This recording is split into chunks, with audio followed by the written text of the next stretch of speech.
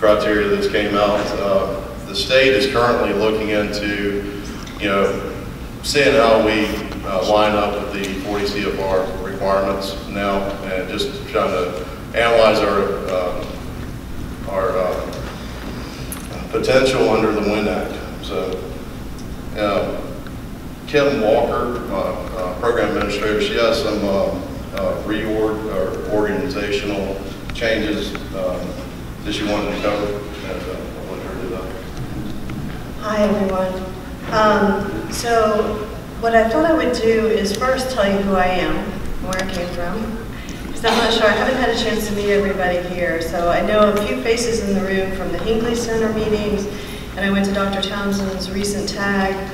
And um, there's some faces in the back of the room that I know from my days in Brownfield. So my name is Kim Walker. I'm the program administrator for Permitting Compliance Assistance Program. So um, for those of you that remember Tim Bahr, he got promoted into the assistant director position, and I was selected to replace him. So in our program, we have solid waste, we have RCRA, um, compliance for petroleum and um, hazardous waste, and then also registration for tanks and waste, uh, waste oil processors and things like that. Um, so what we wanted to do was just give you a couple little nuggets like this. I'm going to talk a little bit about our recent reorganization, and then we're going to open it up for questions, and hopefully you guys aren't going to ask us anything that we can't answer. And if you do, we'll, we'll get back to you. Um, so I think you know that we have a new secretary, Noah Valenstein. Um, reporting directly to the secretary is our Deputy Secretary of Regulatory Programs, John Truitt. And under his administration, we're in the Division of Waste. The Division of Waste is led by Joe Yulo, who's the director, and Tim Bahr, who's the assistant director. And then under Waste is our program, Petroleum, and Waste Cleanup, those three programs. So we did do some reorganization recently, and some of it's like glad to happy changes, you know, as far as y'all are concerned. Um, you may not notice, but waste reduction wasn't with um, our program for a long time. They are back with us now. So Karen Moore is in our program, and her group um, moved with her down there. Fletcher Harold, who you all know and love, um, has moved into a program administrator position, and he's doing a lot of finance type stuff for us because he's really good with the numbers. I sent him an email the other day that said, is this something we normally do, and do I have room in my checkbook for it? um, let's see, I'm trying to think, there, oh, the only other thing that I think we wanted to share, just sort of news item, is there's been an effort for a long time to redo our website. And the website's, um, part of that is to make it ADA compliant.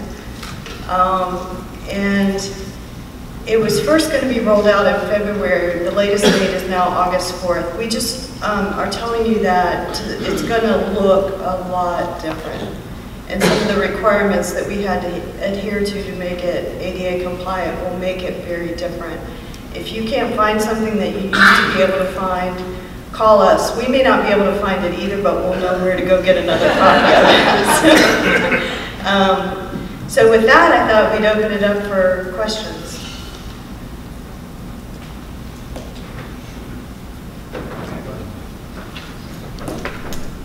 So what are your legislative priorities for this year?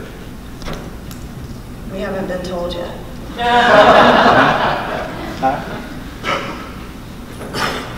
Anyone else?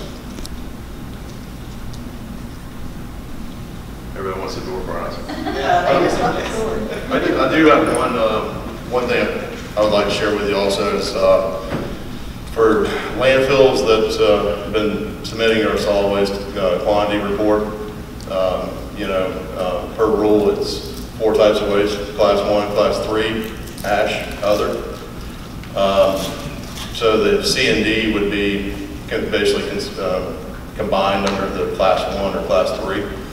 Um, We're putting in a new flow through our ESSA portal uh, on the recycling side to allow uh, facilities who recycle CND and dispose of CND to put their disposal numbers in that ESSA flow. So if you're, if you're doing the recycling sheet, you can, uh, you can provide numbers in that, in that ESSA flow rather than your solid waste flow. So um, there will be a webinar um, set up to uh, discuss that with the, with the regulated facilities. And uh, if anyone has any questions, uh, feel free to give me a call.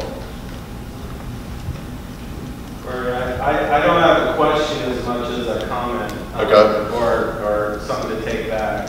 And maybe Fletcher, if he's in the finance now, he can. look Man, I try, I try getting Fletcher to buy me lunch all the time, and he never, it never works, you know? excuse to get with him. Right. Um, Do you foresee, uh, you know, one of the challenges sometimes we have is, is getting checks from our clerk of the court for Right. uh, permit fees, but we can pay them online if there's a a ability to do that. Do you, do you The, foresee DEP ever going to an online payment portal? um, you can actually pay through the portal right now, um, through the, uh, through the portal, but you cannot do a prorated fee through the portal.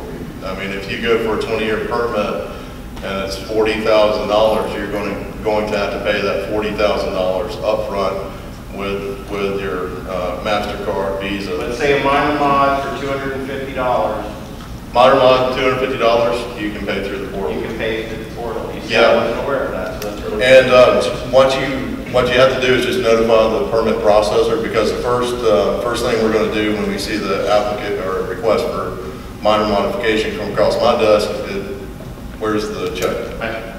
Yeah, so, yeah, um, if you put in your cover letter that uh, the check will be, uh, that you plan to pay through the portal, uh, when that, that uh, permit application is logged into PA, you get that automatic mailer back from the system that says, says your application's been received, uh, uh, you know, we'll be getting back with you about, uh, you know, it's, it's canned language on there, but uh, at the bottom of that link, there's a, um, there's a pay button, so you- it takes you straight to the ESSA, ESSA payment. Excellent, so you should send in, send in the application and then it gets logged in and then. Right, send it in with that, with that indication on your cover that you're gonna be paying through the portal. You know, some way to let us know that, that we need to log it in so we give you the capability to pay. We got a question here. Correct, I had one, um, obviously, there's been a lot of interest in the closure turf, alternative cover, and uh, a lot of us have received the, the letter that was issued in terms of, you know, kind of the procedure for going after uh, that process. The way I read it uh, was kind of like, if somebody's interested, first send like a letter of interest to the department, and then, you know, if that's approved, go after the alternate procedures. Could you talk a little bit on that? What I would recommend, Manny, would be to, um, to just discuss it with, with staff. You know, kind of like a pre-application. We can go ahead and, and look at, uh, your proposal and then kind of help you structure that alternate procedure. You know, because the alternate procedure, um, you know, it's kind of, a- it's a set, set thing in our rule. I mean, it goes to our director, it, we log it in, we have to process it. And it's, um, you know, we want to cut out that, Sorry, I knocked down the building, but, uh, we want to, you know, take out that, uh, you know, REI process, you know, we want to make sure we got a good ask to start with, so we can go ahead and get that thing issued. So it's not a- like an initial letter, hey, we're intending to kind of go after this, more like a conversation with the department, we can set it up. Yeah, I'll be be glad to set up a meeting with you. And, um, and just to let you know about my staff, um, you know, um, some of you are familiar with it, we're kind of divided up into, into, uh, districts. Um, So certain staff are assigned to certain districts. Um, the, the catch-all would just be sending me an email. Okay. And, and I can, uh, I can get appropriate staff. And, uh, just to let everybody know, I do have a new, um, professional engineer that's in my section, uh, Joe Dertine. He's handling all of my engineering reviews. He's, he's kind of like, uh, what I was to Richard Tedder, so. so- Great too. Right. Awesome. Thank you. Anyone else? Come on, Carlo, I know you got something, man. Okay. If the microphone comes here, you better answer the question. So how do you feel, um, No. I feel a lot, No, no, no, back to that one. So Triple X has been put on hold until August. What's the uh, state's I position? don't even watch those types of movies, Carl. Come on, come on. You feel strong enough, do you want to answer the your question or no? Um, wouldn't want to answer your question, but, uh, uh, the people you need to talk with will be uh, Jonathan Holtham or, uh, David Reed with, uh, DARM. I mean, he is, uh, they're your points of contact. And, you know, being at the landfill permitter, I'm, I'm kind of, I'm, I'm- I'm caught in there some way, but, uh, you know, um, your air emissions and your Title Five, um, you know, that's, that's handled with DARM. Uh, what I'm worried about is, are you poking, poking holes in your cover that's leaking and causing other problems? I mean, that's, I want to make sure you adequately control the gas. And, uh, what, what you do with it after that, that's all, all DARM's, um, cup of tea, so. Okay, well, thank you. Thank you for coming. right.